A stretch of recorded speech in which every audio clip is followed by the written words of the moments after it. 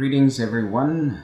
Welcome to Bogosi Kupe channel. We are back yet again with a great uh, presentation. We hope that you have been enjoying yourselves and uh, going over uh, the videos and uh, the material that we have presented in the past. Today we bring you a, a very interesting and controversial uh, subject.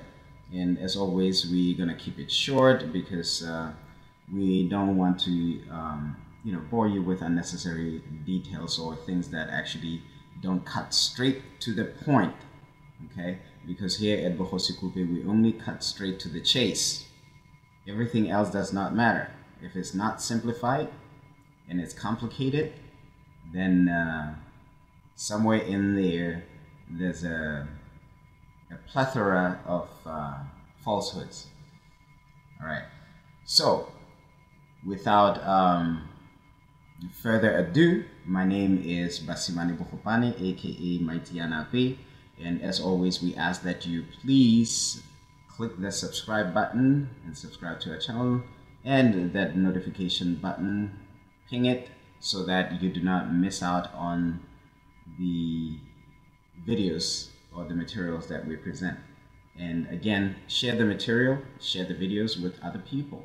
So we're going to address this subject. Um, I came across this uh, topic um, some years ago when I used to participate in the quote unquote uh, conscious community uh, when I uh, resided in the state of New York, right? Specifically, New York City. Um, and I used to go to lectures, and this is where I first uh, came across this. And you know, in listening to you know to people talk, um, you know, I somewhat recognized some of the terminologies that were being that was being used, especially you know hieroglyphs, and I kept thinking to myself, hmm, this sounds more like you know the language that we speak, but it sounds a little bit funny or spoken in, you know, a, a different tone. Of course, I did not have any access to um, materials that I could study at the time, but I eventually uh, made the effort to actually find the material and of course went through initiation and learned how to read and write and the basic fundamentals that I gained through initiation allowed me to dedicate myself into doing more research and you know uncovering more and more stuff and being able to bring it in a perspective that is um, clear. All right with that said we'll go right into it. Who were the tamahu? All right or who are the tamahu? All right these the tamahu are the people uh, at number four right here with feathers um, in their hair. All right as you can see them in this uh, image. All right. So the purpose of uh, this is to provide the translation of Tamahu from Setswana Sesotho perspective and evince that the Tamahu name is not foreign to Botswana Basotho languages and to also show that ancient Egyptians used color to designate people and that it was a racial marker. All right as much as it was descriptive of the people. The issue of race cannot be exhausted without knowing the true meanings of names. If we don't know the true meanings of names, then you know we that we're trying to say about race will be mainly speculation with some you know good guesses here and there. All right. Um, so, who is this Nesut? Nesut Biti Seti the first, right? This is Nesut Biti Seti the first. I'm using Nesut Biti, not the actual uh, translation into my own language. We already have it, um, the translation for Nesut Biti. Right? It is found in our languages, but for the sake of uh, you know, general conversation, we use this, and then the others will be found in initiation.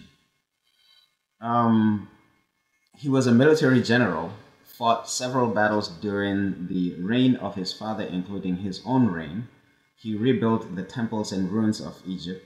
He is regarded as the Pharaoh who kicked Moses out of Egypt. He has 96 names. All right. He is the first to use the name Tamahu found in his tomb.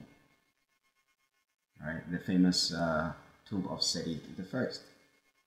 So many people have uh, speculated and said that you know the Tamahu um, are Libyans, and these are Libyans right here, dressed in, uh, draped in um, what you would consider quote unquote the um, the Semitic um, cloak, you know, priestly cloak, right, with uh, stripes and tassels at the at the bottom. Of course, they're dressed in white.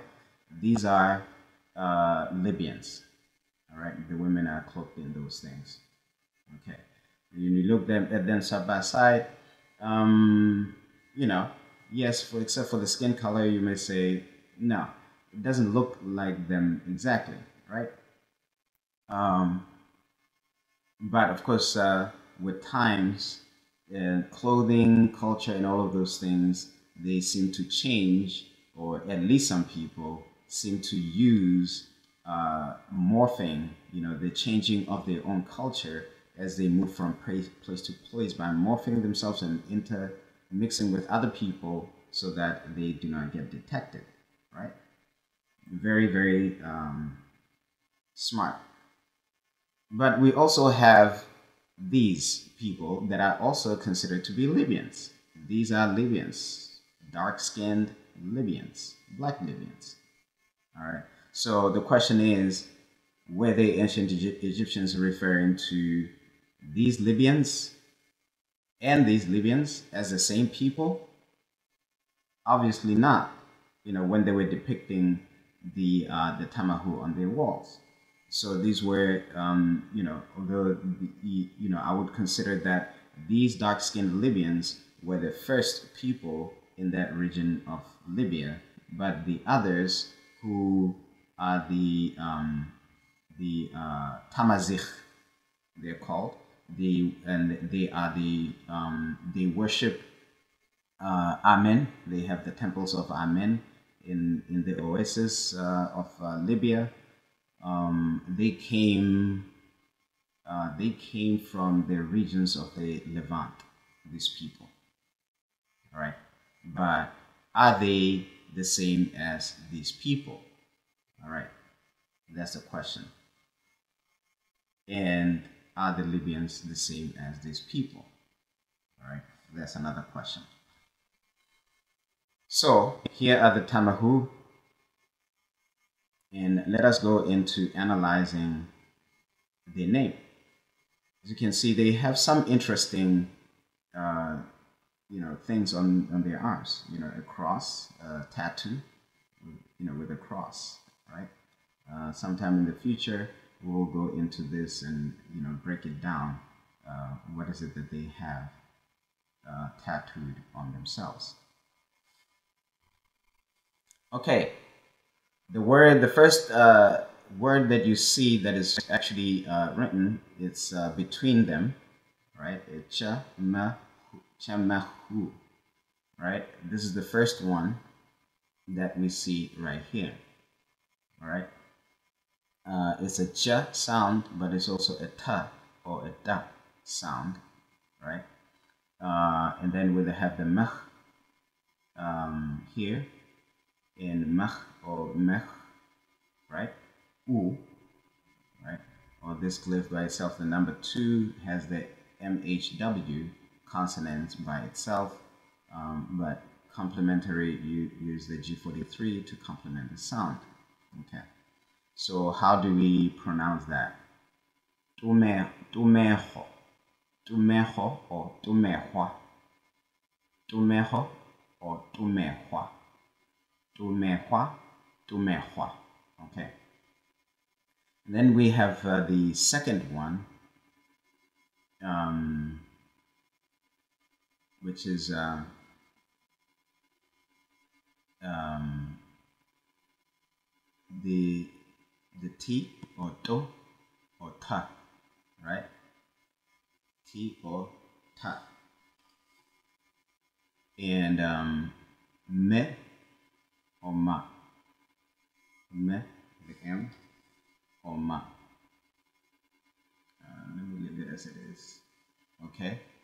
And um, we have uh, the next glyph, the V31, uh, ha or ha.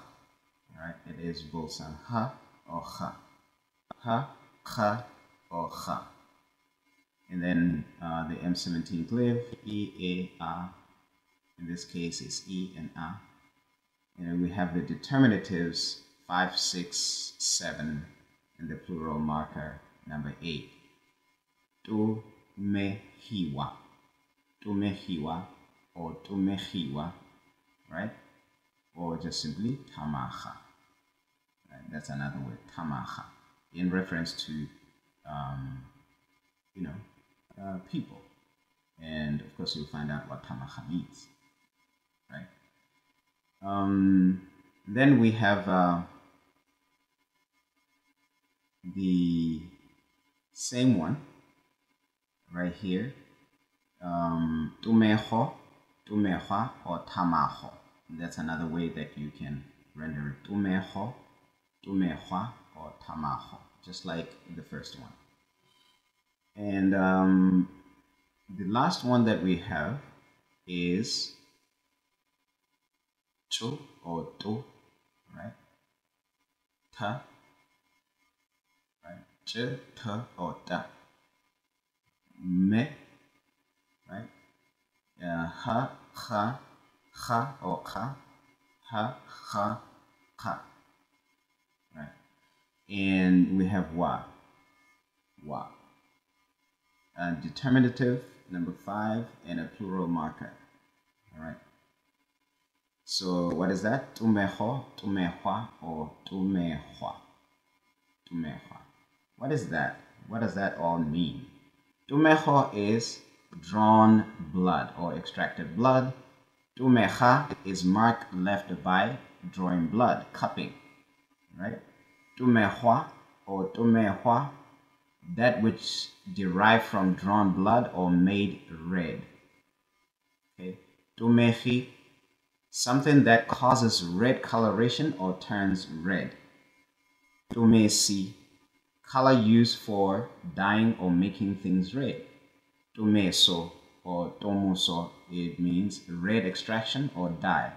Tamaha or tamaha, red with white spots like skin color of people, Asian, whites, mixed races, etc. All right. Um, what does that look like? It looks like this. I forget what this con skin condition is, but it, it is what um, uh, people of European descent have, right? Um, they have this color. And this color would be called tamaha, right? Tamaha or tumejo, right? Meaning that uh, blood showing or being, you know, being extracted to the surface or being brought up to the surface right? It's a condition. Um, and then, of course, uh, the process of cupping, right, is tumejo, meaning blood extraction, right? And then it leaves like these blotches, which can be compared to what you see right here um, on the skin, hence tumejo, right? Or tumehua, right? So how do we justify that? We already know, you know, they are uh, words that um, speak to this, right? Tu, ti, tu, m, me, s, or z, all right? S, wa, o, determinative, plural, and plural marker, all right? What is this? Tumeso, redness or rudiness. So if I've already explained um, previously, tumeso is zona is what? Almost red extraction dye, right? Red extraction dye, right? So it says redness, rudiness. Okay, and then we have um, another word that has, uh, you know, all the uh, the main similarities with uh, the word tama, tamaha or uh, right? And to, ti, tu, m, me, ha or ha, uh, ha or ha, ye or e, determinative plural marker. Tumehi or tumehi, red ochre, right? Tumehi, red ochre? Um, as you can see, there are definite uh, similarities between this word, right, and this word in terms of construction. The differences is, you know, the reference. What is one referring to? Um, where is the proof?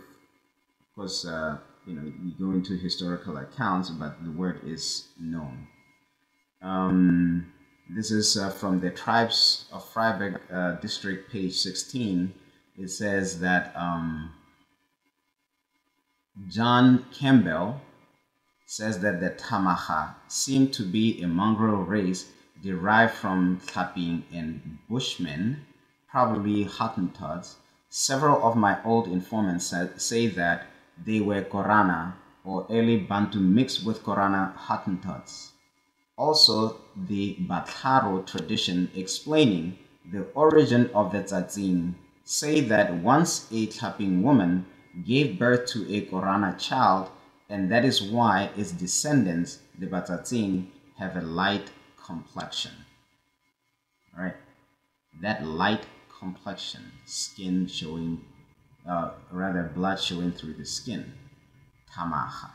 All right, even tamaha is actually a color, is uh, red with white spots.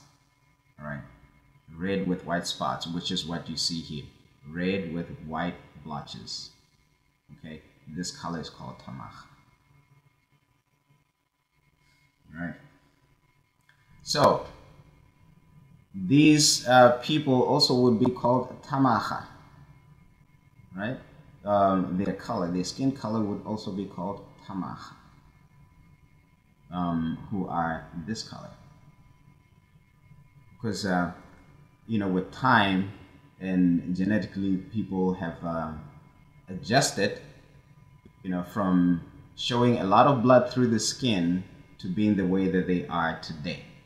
But in olden days, of course, we know with an inability to spend uh, time in the sun, some of these people actually showed a lot of blood, or they actually stay in the sun, they turn red, right?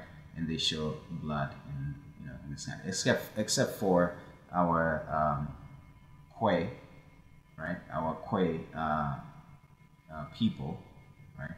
They've been around with us for a long time. Now, question. Hmm. Tamahu are Jews? Are the Jews the Tamahu? Well, that question remains to be answered. And we conclude by these statements. Tamahu is a derived term which alludes to skin color, and the proper reading of is tamahue or tamaho or tumeho or tumehua, which terms allude to a race of people derived from the process of blood extraction and hybridization, in essence, a creation, right? Through this process of blood extraction. Now, of course, um, the question is where is the Nation of Islam correct? Hmm, it seems that the Nation of Islam has been correct, right? And we just uh, actually proved it by breaking down the name and what it means. The Nation of Islam has been correct. Of course, uh, you know, with other things, um, we may not we may not agree, but when it comes to the what this name actually means, you know, um, they are correct. Although the Nation of Islam and uh, the Moors, they have not actually provided a breakdown of the word. It was just simply, you know, uh, based on either the history that is known in initiation camps or uh, a, a, good guess. But here we have the actual evidence. All right. Ancient Egyptians used it to designate people who came from the northern regions, aka Europe. There is no doubt about it. And color and race was known and used by the ancient Egyptians. No question about it. Anything to the contrary um, is just uh, mere speculation because you cannot do it. You cannot go into the issue of color and race without knowing what these terms mean. All right, with that said, we thank you for uh, subscribing to Bogosi Kupe. We thank you for watching, and we look forward to seeing you on the other side with more interesting content.